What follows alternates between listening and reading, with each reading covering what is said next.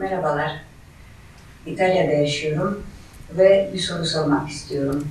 Bugünkü bilim eee, çok eee, değişik noktaya geldi. Artık insan olarak yapay organları eee, yapmaya başlıyoruz. Eee, bu acaba Kur'an'a aykırı mı?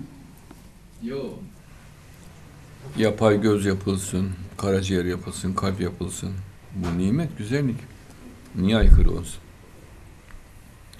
Ama yani kalp yaptığında ruh o kalbin içine girmez.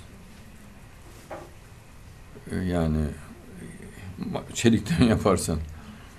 Ama e, ruhun girebileceği gibi olursa ruh oraya girer. Yani hiçbir mahsuru da olmaz.